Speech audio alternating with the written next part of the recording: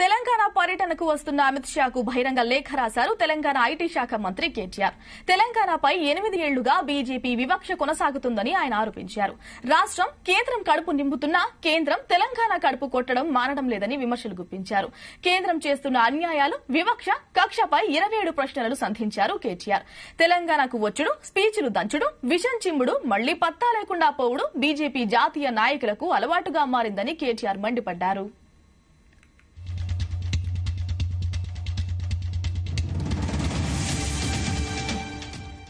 ఇంకెంతకాలం తెలంగాణ రాష్ట్రంపై నిర్లక్ష్య ధోరణి ప్రదర్శిస్తారని కేటీఆర్ ప్రశ్నించారు.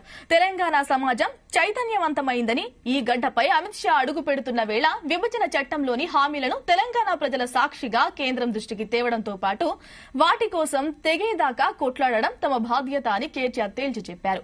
తెలంగాణ సమాజం ముక్త కంఠంతో నినదిస్తున్న అనేక కీలక అంశాలు అమిత్ షా దృష్టికి తెస్తున్నట్లు ఆయన లేఖలో పేర్కొన్నారు. గుజరాత్ రాష్ట్రంపై వల్లమాలిన ప్రేమను తెలంగాణపై సవతి తల్లి ప్రేమను ఇలాగే కొనసాగిస్తే ప్రజాక్షేత్రంలో బీజేపీ తగిన మూల్యం చెల్లించుకోక తప్పదని కేటీఆర్ హెచ్చరించారు.